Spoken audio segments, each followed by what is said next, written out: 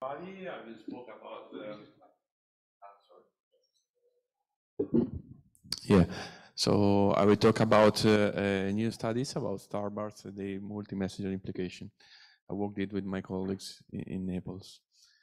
So here just a, a first uh, um, um, expectation done uh, for starburst when much before the Fermi-LAT and IceCube observation. So when it was not uh, easy to constrain what can be the uh, spectral property of the sources at high energies, and just uh, reported this reason. And, and here in this slide, I want to say that looking at the IceCube diffuse flux measured that uh, we it's possible to to fit uh, in a in a direct way the energy part of the spectrum looking at the blazar and accelerator this is the case extrapolating uh, TXS 0506 plus 056 to um, an entire population of blazar and see that we have a room at the, at the lower energy for reservoir type uh, object. So in this case, putting together the galactic contribution with uh, most uh, extragalactic reservoir,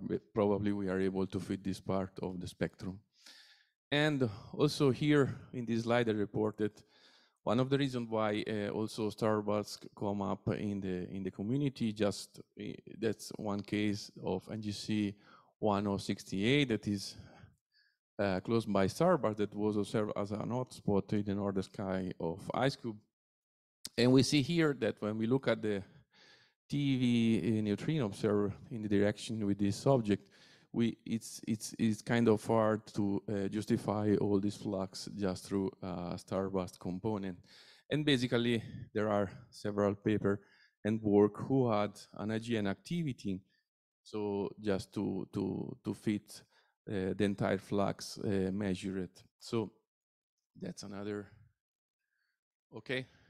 So for when we look to this kind of object uh, and when we want to extrapolate the contribution to the diffuse sky, we should we can play it together with the neutrino from the IceCube and and with the gamma ray from Fermi-LAT, and uh, we we also look to the uh, uh, extragalactic gamma ray background that is measured by Fermi-LAT, and there are different work that that try to uh, fix and put a bound for the different component of the AGB.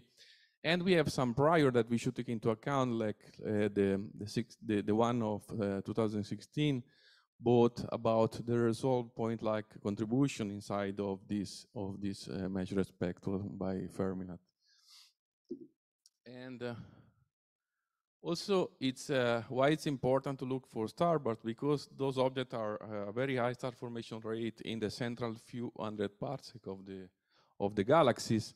So and and also uh, containing cosmic rays in this part, we have a, a very uh, a nice environment for the proton-proton interaction.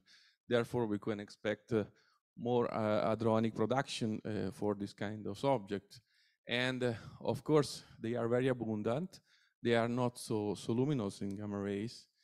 And as I said, the, the, star formation rate is from 10 to 100 times what, what we have in the Milky Way.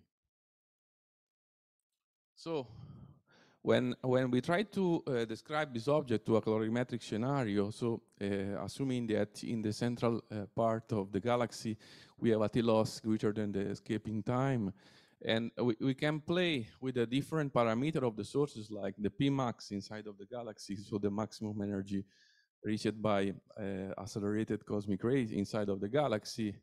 The alpha that we observe in the, in the gamma ray from the few known sources from Fermi-LAT at, at the gamma at the gamma ray energies, and also the rate of uh, supernovae remnant, and also the, uh, then therefore also the density of the interstellar medium.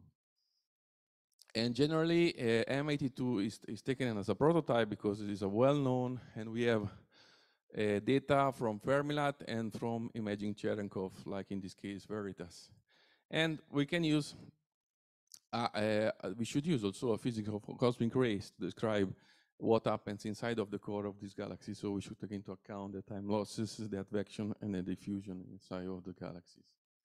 And uh, here, what happens if we take into account not only one prototype, so not only M82, but we take all the 12 known uh, SBG from Fermi-LAT, and we look at the distribution of the alpha from this object. And uh, we see that when we extrapolate this kind of uh, contribution, so using the uh, calorimetric uh, approach to describe the expected gamma ray and the expected neutrino, and then extrapolating these to a possible diffuse component, we see that we, we obtain something different than using just M82 as a prototype.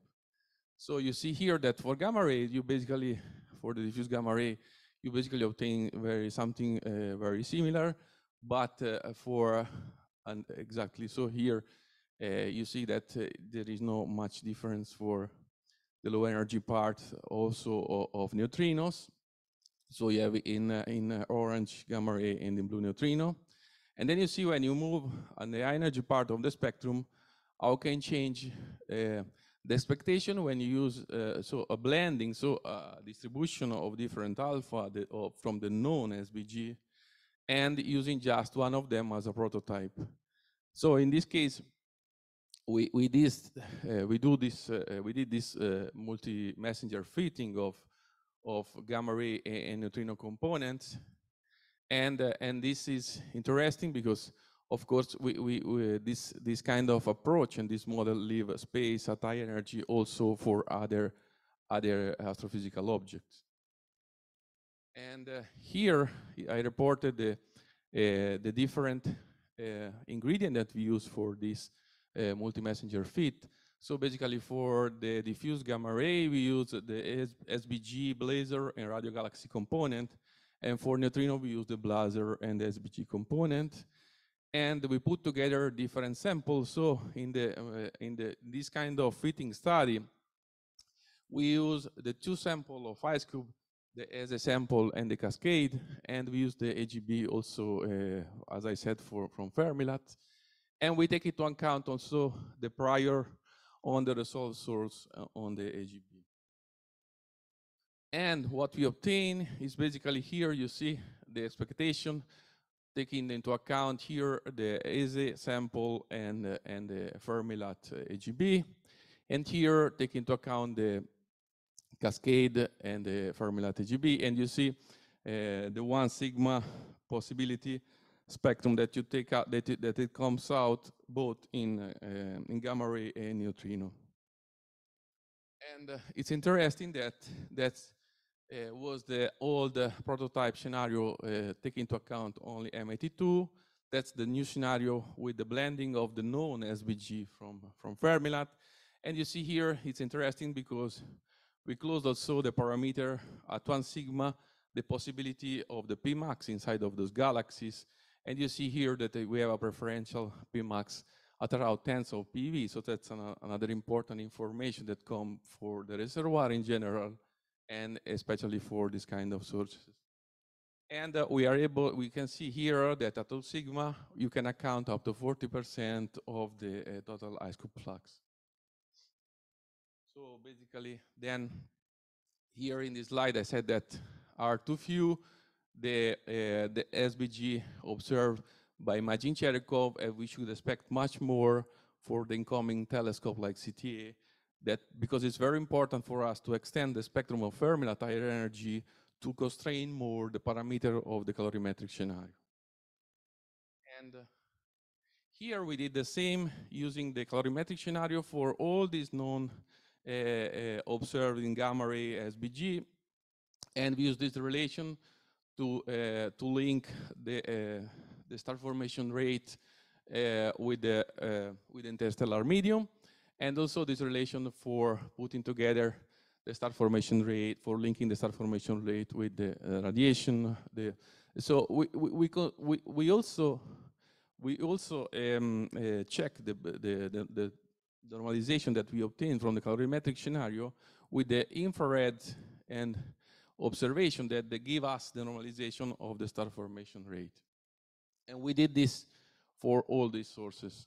And when we uh, we look for for uh, for the expectation in neutrino for for single SBG, we see that uh, that's the one observed from Fermi-LAT, and we see there are some interesting cases like the Small Magellanic Cloud and the Circinus Galaxy that can be observed probably by by uh, KM3net uh, uh, in one decade of observation. So it's, uh, it's what we can expect, looking not only to the diffuse component, but looking at the single point sources, so at the single SBG known close by SBG actually. And uh, uh, it's also uh, interesting to see what uh, CTA maybe can can see in can can can can tell us in the near future when we compare the expected gamma ray set from these uh, sources with the sensitivity of uh, of this incoming telescope in, for the southern hemisphere and for the northern hemisphere. So another question that comes out when we look to these these sources is what what can happen it's it's in if we change a bit the physics of the cosmic rays inside of the sources. So how the expectation can change if you change also uh, the cosmic ray physics inside. And then we we check just to uh, the, the the calorimetric scenario that we use with another scenario that that comes out recently where the uh, basically the advection is not considered inside of the core just that's because it's, you should take into account how much is ionized your medium and if your medium is hot or cold. And uh, here we report also the parameter that we use for the wind and the classical radius that we use for the nucleus of the starburst galaxies. And you see here that also changing this, it can change also the expectation at higher energy in gamma rays. And so uh, it's uh, we look how this can, can be important also for neutrino, not only for gamma. And here, how we change the relation of the two scenario, considering the gamma luminosity and the star formation rate for, for uh, this object. And you see here that basically we try to do this exercise for different SBG. And uh, uh, you see here that basically for all of them, the two scenario can change the uh, expected gamma ray and at the high energy part. And uh, we put here the expectation of SWGO, so the, no, sorry, the, the sensitivity of SWGO, and also we did uh, a mock data production for the CTA. So you can see here how also this measurement can tell us much more about the physics of these uh, sources. And um, so also coming back to this work that basically changing the physics and then uh, just uh, shutting down the advection, basically you're filling all the EGRB emission of Fermi-LAT through, through the, the, the component from the SBG. And, uh, and also this, in this slide, we see how the, the two scenario changes also when we look for neutrino. And so you can see here that basically uh, in the in the in the calorimetric standard scenario we use basically we leave a space for other component for the EGRB data of Fermi-LAT and but basically we are fitting much more we are describe we are basically able to describe much more neutrino in the diffuse flux from IceCube. On the other hand, if you take into account the other model and the, you shutting down the advection in the core, you are eh, basically saturate all the EGRB from Fermi-LAT, and you are able to describe a, a much less number of neutrino from, from IceCube. So just here, I put a small recap of, of the different component that comes out putting together the AGB and, and uh, the neutrino from IceCube. And just arriving to the, the summary, so the increasing number of, uh, of cataloged SBG and the very energy gamma rays will help us to constrain more the, the, the parameter of the calorimetric scenario. And uh, with just considering the blending and the known SBG from Fermi-LAT, we are able to um, account up to 40% of the IceCube flux if we go further up to the, the equal four more or less. And uh, uh, of course, the, the, new telescope will tell us also about uh, much more information about the, the spectral cutoff. And um, we know that uh, even, even though from the diffuse sky, they, they give an important contribution for point like, it's very difficult to disentangle them with neutrinos. we have some few cases that can be interesting, as we said, like SMC or Circinus, that maybe will be visible with KM3net and IceCube Gen2. And uh, of course, the global neutrino network statistics and uh, the, the new dedicated server survey for of this object from CTA will tell us much more. We will be able not only to constrain the scenario, but also uh, especially the physics that we have inside of these sources. So yes, thank you.